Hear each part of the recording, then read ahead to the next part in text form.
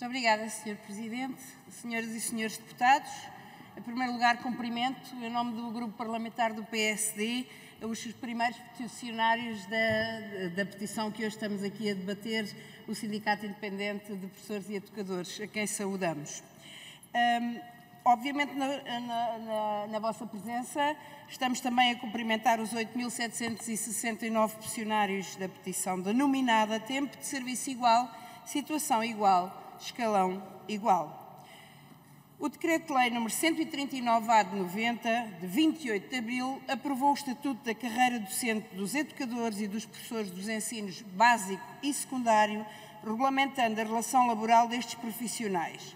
Ao longo dos últimos anos, várias têm sido as razões de interpretação ou de enquadramento que têm resultado em normas legais que, na sua aplicação, nem sempre são condicentes com a justiça do Estatuto da Carreira Docente. Até 2011 existiam 10 escalões na carreira docente, correspondendo o primeiro escalão ao docente com bacharelato e o terceiro escalão ao docente licenciado. Entre 1 de janeiro de 2011 e 31 de janeiro de 2017 esteve em vigor o congelamento das progressões na carreira da função pública em virtude das excepcionais eh, autorizações por via da Lei do Orçamento de Estado correspondente a estes anos e recorde-se anos em que o Orçamento de Estado foi viabilizado por Partido Socialista, Partido Comunista Português e Bloco de Esquerda.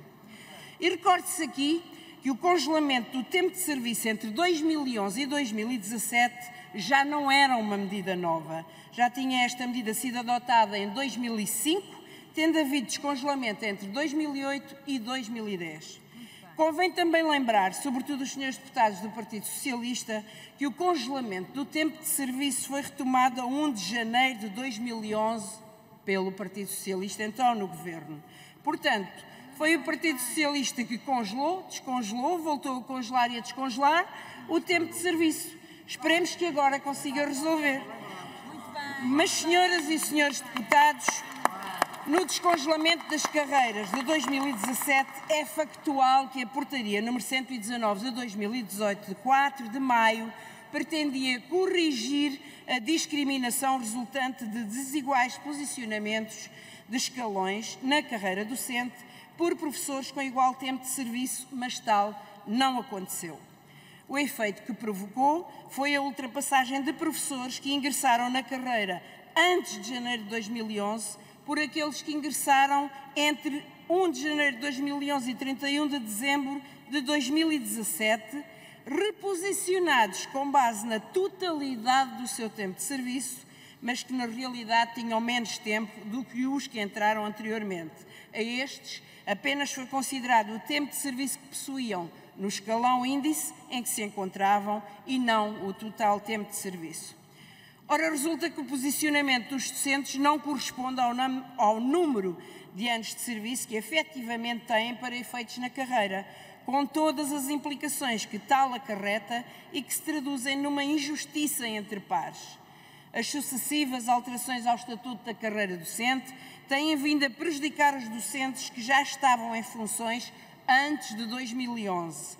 Recebem, por vezes, dois escalões remuneratórios abaixo dos docentes pós-2011 e, perderam o tempo de serviço agravado pela ultrapassagem dos docentes pós-2011, que não precisando de cumprir os primeiros quatro anos de serviço, puderam utilizar esse tempo no quarto ou no sexto escalão, garantindo vagas para progressão. Resultando, Resultado, temos docentes com 50 anos de idade que se mantêm no quarto escalão a ganhar 1.200 euros por mês. Senhoras e senhores deputados, esta é a realidade de milhares de docentes, a realidade da escola pública, de uma escola que se quer justa, que se exige ser de igualdade de oportunidades e de respeito pelo próximo. Os peticionantes propõem a criação de uma portaria que regulamente o reposicionamento de todos os docentes vinculados antes de 2011 e entre esse ano e 2017, e passo a citar, de acordo com o previsto no Estatuto da Carreira Docente em vigor, numa un... lógica única e justa de, para os mesmos anos de carreira, corresponder um posicionamento de carreira igual, salvo as situações que decorram das bonificações por avaliação do desempenho docente ou mestrado-doutoramento. Perguntamos, senhoras e senhores deputados, estão estes peticionários a pedir muito? O PSD ficará atento e irá acompanhar a matéria. Muito obrigada.